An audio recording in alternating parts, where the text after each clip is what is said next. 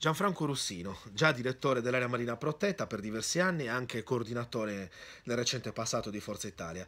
Proprio l'area di riserva eh, marina eh, in questi giorni è ritornata alla ribalta per diverse motivazioni, alcune poco nobili e anche altre sfortunate, eh, e soprattutto per il discorso dell'unificazione bocciata dal, dal Ministero. Parliamo subito di questo passaggio purtroppo negativo che però ovviamente non, non riguarda una scelta vostra di quando lei era, era direttore.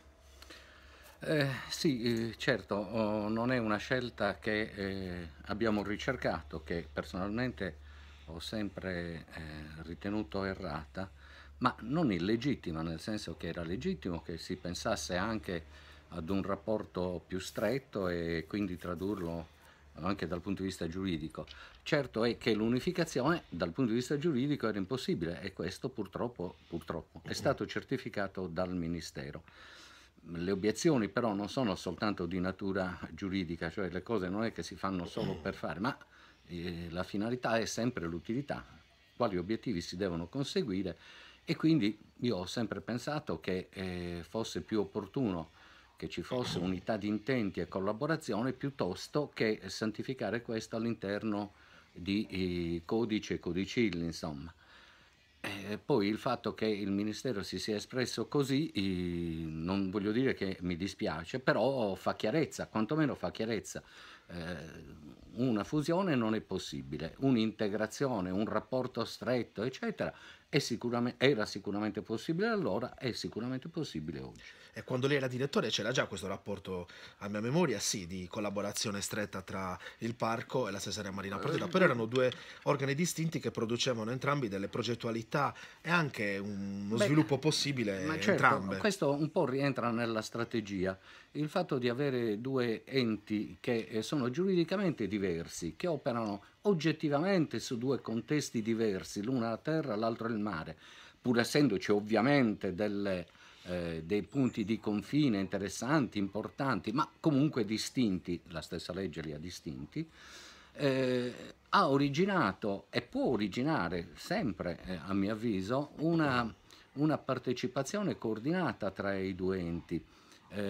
Eh, per intenderci, nelle progettazioni nazionali o anche quelle europee, eh, poter vantare il contributo di un, l'apporto di un ente di livello nazionale, l'area marina protetta, e un altro di livello regionale, ma non meno importante, è una carta da giocare sempre e comunque quando si concorre in bandi dell'Unione Europea o della Regione o dello Stato o di Roma. Esatto, e, qualcuna delle progettualità che avevate già eh, avviato e comunque anche concluso di quegli anni ce la può ricordare? Per il vero furono tante. Sì, sì, eh, ricordo. E, ne, ho, ne ho piacere sì. che siano state le più tante. importanti, diciamo. Ma eh, io ricordo con molto piacere il, quando eh, l'amministrazione di Alghero si dovette eh, confrontare con il bando regionale per, eh, per le aree SIC. E, ecco, in, quella, in, quell'occasione ci fu veramente un coordinamento e un ottimo rapporto tra i due enti, proprio perché ciascuno portò sul piatto di questa bilancia di contributi e di, e di gara per ottenere i relativi finanziamenti, portò le proprie conoscenze, le proprie esperienze e la propria capacità di produzione. Ecco, quello fu un momento estremamente interessante e all'interno di quel momento proprio l'area marina protetta curò una scheda sulla Grotta Verde. Eh, una scheda estremamente importante perché nacque in un momento in cui i finanziamenti eh, erano assolutamente insufficienti a soddisfare eh, la scheda stessa, per cui in regione eh, infatti rifletterono su questo dicendo ma effettivamente la scheda è valida ma è una scheda che va oltre eh, le possibilità economiche del piano. Eh, però la possiamo inserire nell'accordo programma quadro e così eh, fu fatto. In effetti ovviamente il sindaco Tedde accettò di buon grado di far passare eh, la scheda progettuale che rimaneva sempre nel piano SIC, ma che entrava nel, nell'accordo programma quadro e quindi eh, dopo vent'anni finalmente eh, si progettò eh, una, una, soluzione di, mm, di, dire, di restituzione alla comunità algherese e non solo ovviamente ai flussi turistici, sì. si avviò questa azione per restituire la Grotta Verde alla fruizione pubblica. E invece questa fruizione ancora non è arrivata, come tante cose che purtroppo eh, sono sotto gli occhi nostri, partendo da diversi mobili come per esempio il Cavalmarì, il Balaghe e anche altre situazioni in generale, siamo fermi a diversi anni fa. Perché c'è questo stallo, che ovviamente è legato a dinamiche anche burocratiche delle aziende che sono intervenute, però qual era la vostra idea proprio sulla Grotta Verde? Perché Ma... oggettivamente avrebbe portato dei flussi importanti economici, tradotto lavoro, posti di lavoro. Non v'è dubbio, non v'è dubbio.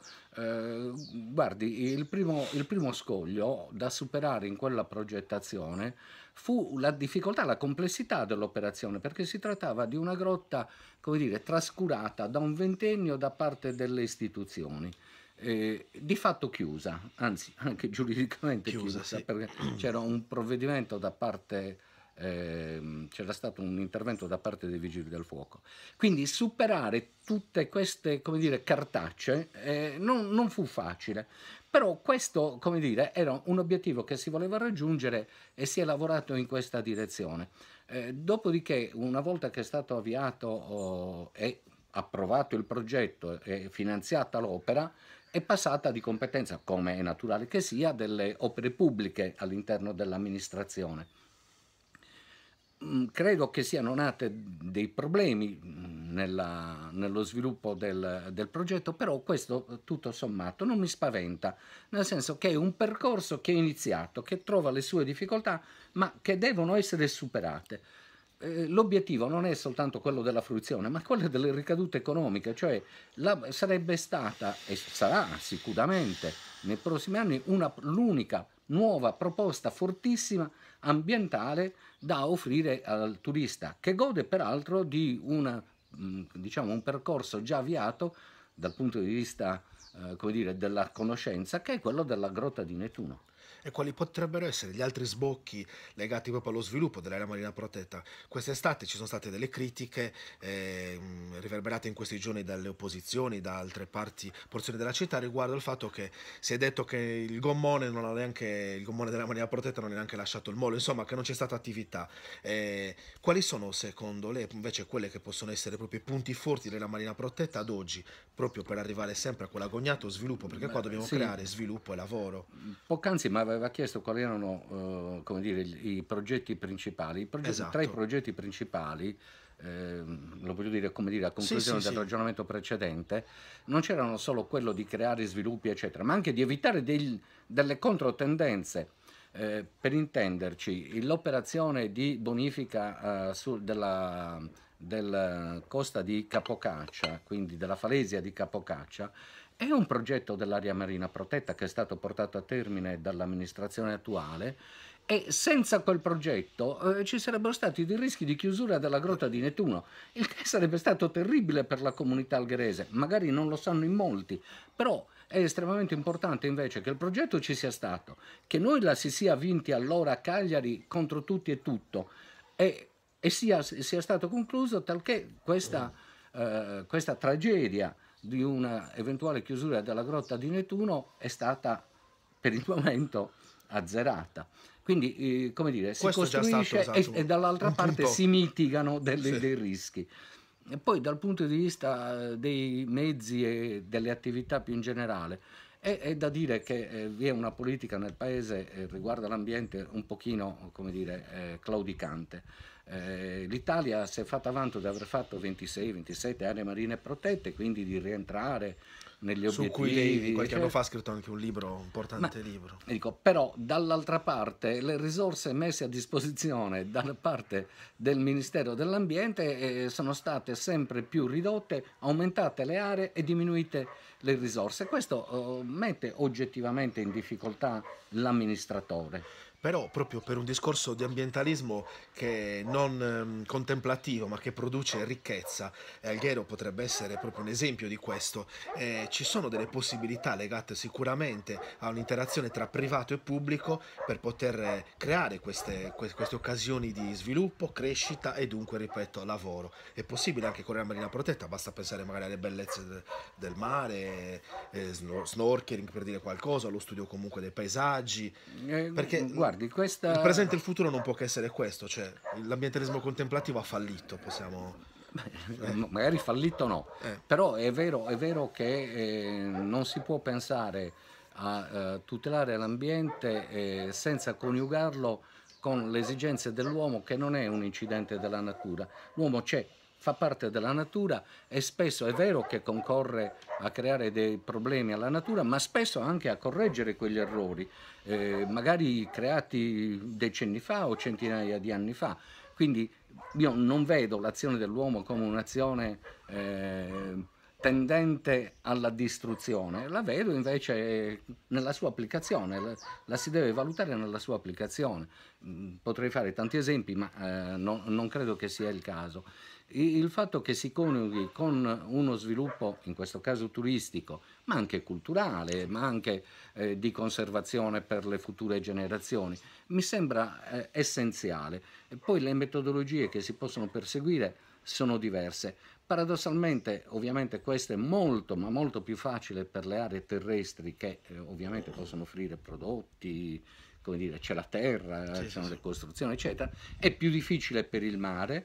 Eh, in qualche eh, sito hanno provato non con risultati brillanti, però è vero che eh, si possono eh, avviare delle azioni di diffusione della conoscenza del territorio delle eccellenze che esso offre e quindi non direttamente ma indirettamente creare quei flussi economici di straordinario interesse eh, che eh, in alcune aree, come per esempio oh, le Cinque Terre in Liguria, sono, beh, sì, certamente sì, sì, sono riusciti a realizzare.